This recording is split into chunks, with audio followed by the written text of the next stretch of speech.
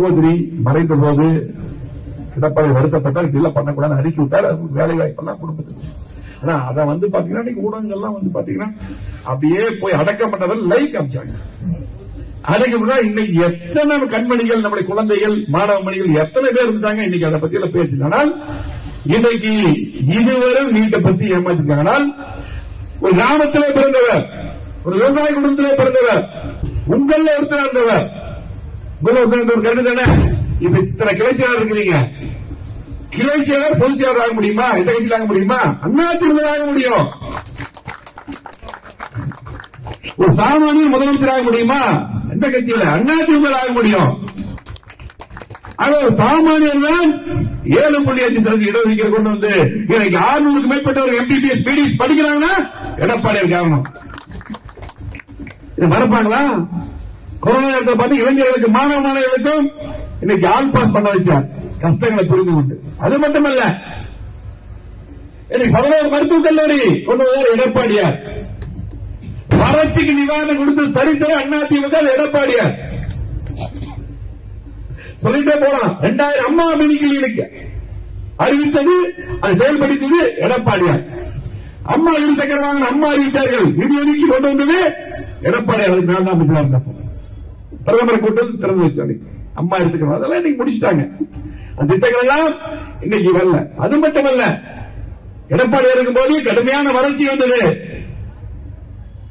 அதே போல கஜா புயல் வரலா புயல் கடுமையான புயல் வந்தது. கஜா புயலுக்கெல்லாம் ஒரு மாசம் நான் உள்ளாட்சி அமைச்சர் இருந்தேன். மின்சாரத்துறை அமைச்சர் தங்கமணி எங்க இருந்தாரு? இன்னைக்கு பாத்தீங்க எல்லா அமைச்சர்களும். அத்தனை பேர் இருந்தாங்க. எடப்பாடியா நேரம் வந்தார் பார்த்தார். ஒரு மாசம் இருந்து வேலை செஞ்சோம். இன்னைக்கு அந்த மாதிரி சூழ்நிலை இங்க வரவே இல்லை திமுக ஆட்சியில இந்த மாதிரி மழையெல்லாம் சொல்ல வரல. கொஞ்சம் மழை பெஞ்சாலே இன்னைக்கு எவ்வளவு இந்த சூழ்நிலை உங்களுக்கு தெரியும். ஆனால் இன்னைக்கு கடுமையான பிரச்சனைகள் வந்தது. இருபதாயிரத்துக்கு மேற்பட்ட போராட்டம் நடத்தினாங்க. அதையெல்லாம் சிரித்துக் கொண்டு அதை பேஸ் பண்ணது யாருன்னா எடப்பாடியார். கருத்து சுதந்திரம் உரிமை போராட்டம் நடத்துறது. அதெல்லாம் அற்புதம் நடத்துறதுக்கு வாய்ப்பை விட்டார் இப்படிப்பட்ட முதலமைச்சராக கிராமத்தில் பிறந்தவர் இன்றைக்கு எடப்பாடி ஆட்சி சிறப்பான ஆட்சி என்று மக்கள் போட்டி கொண்டிருக்கிறாங்க.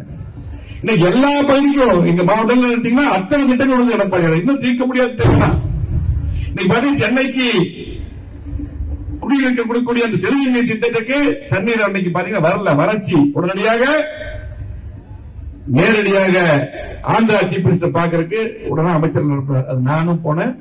ஆனா ஜெயக்குமார் ரெண்டு பேர்ல போனோம். உடனடியா அந்த சீஃப் மினிஸ்டர் பேசி எடப்பாடி இருக்கும்போது உடனே தண்ணி நாங்க வர கூட தண்ணி சென்னைக்கு வந்துருச்சு. குடிநீர் தி- கஷ்ட தீக்கிறது அது மட்டுமல்ல கோதாவரி காவிரி இணைப்பு அற்புதமான திட்டம். இந்த கடுமையான பிரச்சனை தஞ்சை விவசாயிகள் இருந்து கொண்டிருக்குது. காவிரி பிரச்சனை. தீர்ப்பதற்காக முழுமையான திட்டமாக யாரும் செய்ய முடியாத திட்டம் கனவு திட்டத்தை கூட செயல்படுத்த வேண்டும் என்று தெலுங்கானா சீஃப் மினிஸ்டர் போய் அப்பவும் பார்க்க வச்சாரு. நான் தான் போயிருந்தேன். அதே போல ஆந்திரா சீஃப் மினிஸ்டர் பார்க்க வச்சாரு. பிரதமரை பார்த்து மூணு முறை அதை வலியுறுத்தினாரு. திட்டம் வர்றதுக்கு அறிக்கை கூட வச்சார். இந்த ஆட்சி கிடப்பில் போட்டாங்க. இந்த ஆட்சி வந்த பின்னால் எந்த திட்டம் விளம்பரத்தில் விளம்பரத்துல மட்டும் இந்த ஆட்சி நம்பர் ஒன்னா இருக்காங்க நீ பாத்தீங்கன்னா அவங்க செய்யறது எதுவுமே வராது.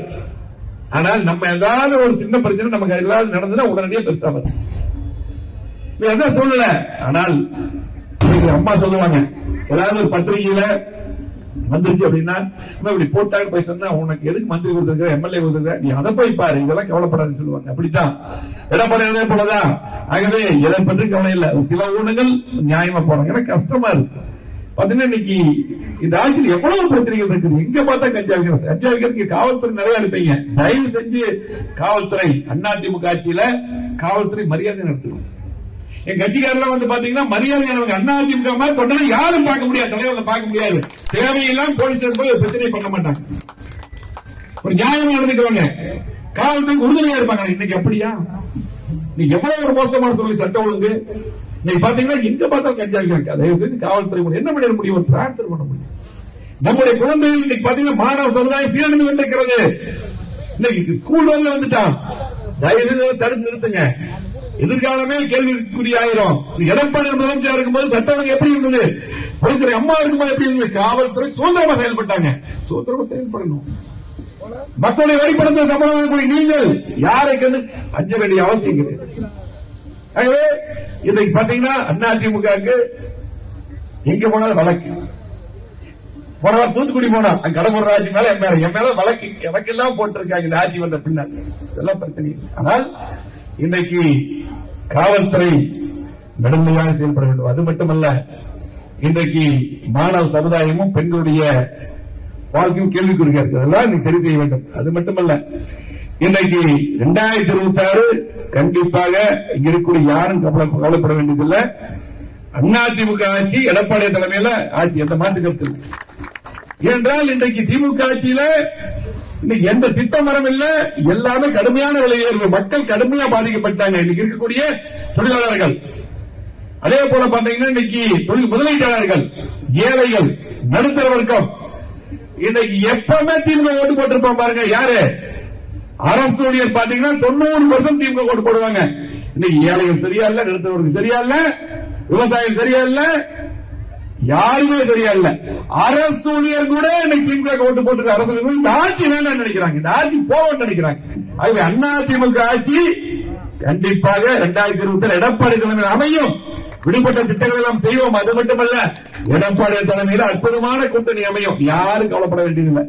நீ பாத்தீங்கன்னா என்றைக்குமே திமுக ஒண்ணு மட்டும் திமுக ஒரு ஆட்சி இருந்தாங்கன்னா அதுக்கு பின்னால் அவங்க வந்து படுதோல்வி அடைவாங்க. அதுக்கு முன்னால் அதிமுக மிகப்பெரிய வெற்றி அதிமுக வரும். இது சரித்திரம். திரும்பி பாருங்க. ஆகவே யாரும் கவலைப்பட வேண்டியது நம்முடைய வேலை பணிகளை செய்ய வேண்டும். என்று மக்கள் முடிவு பண்ணிட்டாங்க மக்கள் அமைதியா இருக்காங்க. நாடாளுமன்ற தேர்தலை பத்தி நம்ம கவலைப்பட வேண்டியதில்லை. நாடாளுமன்ற தேர்தலை பொறுத்தளவுக்கு அது வந்து மோடிக்கு ஒரு பக்கம் ராகுல் காந்திக்கு ஒரு பக்கம் போட்டாங்க ஓட்டு.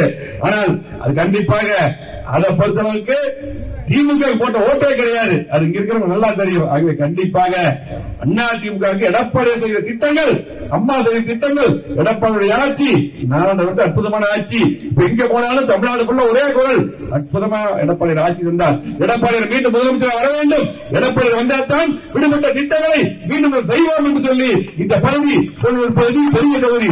தமிழ்நாட்டிலே பெரிய தொகுதி. பாதகம் செய்பவரை கண்டால் நாம் பயங்கொள்ளலாகாது பாப்பா மோதி மிதித்து விடு பாப்பா அவர் முகத்தில் உமிழ்ந்து விடு பாப்பா.